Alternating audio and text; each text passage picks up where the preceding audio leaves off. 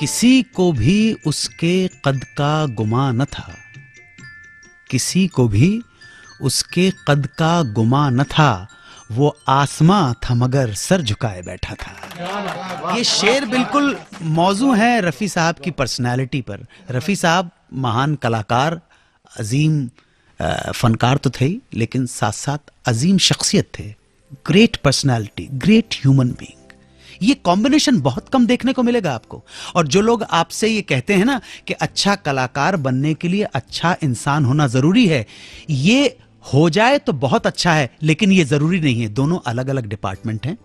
हाँ, अगर किसी एक व्यक्ति में अच्छा कलाकार होने का गुण भी आ गया और अच्छा इंसान भी है तो वो रेयर घटना है, ज़रूरी नहीं है। बल्कि मेरा तो पर्सनल एक्सपीरियंस ये रहा है कि मैंने बड़े बड़े कलाकारों को, आप भी पूछ लीजिएगा, बहुत घटिया इंसान देखा है। अच्छा इंसान अलग डिपार्टमेंट है अच्छा कलाकार बिल्कुल अलग डिपार्टमेंट है, जो लोग ज़िंदगी को समझते हैं वो अच्छी तरह से जान गए हैं। लेकिन ये दोनों का कॉम्बिनेशन अच्छा कलाकार अच्छा इंसान रेयर कॉम्बिनेशन है और ये रेयर कॉम्बिनेशन मोहम्मद रफ़ी में पाया जाता है। मेरे जान पहचान के एक प्रोड्यूसर हैं। उनके फादर जब पहली बार प्रोड्यूसर बने तो रफ़ी साहब उनके गाने की रिकॉर्डिंग के लिए आए। पंजाबी आदमी। उन्होंने रफ़ी साहब के गाने के बाद पाँच हज़ार एक रुपया उनको नजराना रखा। तब तक रफ़ी साहब को पता लग गया था कि ये इस प्रोड्यूसर की पहली फ़िल्म है जो पहली बार डायरेक्ट भी कर रहे हैं। पंजाबी बंदा। उन्होंने फ़र्स्ट टाइम उस डायरेक्टर प्रोड्यूसर से कहा थोड़ी पहली पिक्चर है। मैं एक रुपया रख लेना है मतलब मैं एक रुपया रख देता हूँ। पाँच हज़ार रुपये मेरी तरफ़ से फ़िल्म प्रोडक्शन में लगा दो। ये फैक्ट मैं आपको बता रहा हूँ फैक्ट बात बता रहा हूँ।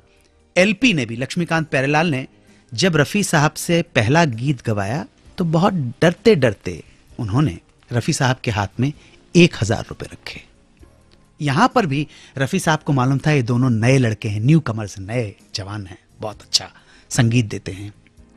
रिकॉर्डिंग के बाद जब एक हज़ार रुपए इस गाने के लिए मिले तो एक हज़ार रुपए में एक एक रुपए के दो नोट और ऐड करके पाँच सौ एक, पाँच सौ एक रुपया हथेली खुलवाई और लक्ष्मीकांत की हथेली पर और प्यारे लाल की हथेली पर ग्रेट मोहम्मद रफी ने आशीर्वाद दुआएँ देते हुए दोनों नौजवानों की हथेली पे पाँच सौ एक रुपए की इसी दुआएँ दी।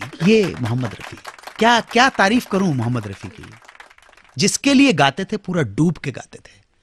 और आप ताजुब करेंगे, वो गीत आपको ऐसा लगेगा कि पारसमणि का वो गीत नहीं था। उस फ़िल्म का नाम था छैला बाबू। छैला बाबू के लिए रिकॉर्ड किया गया था।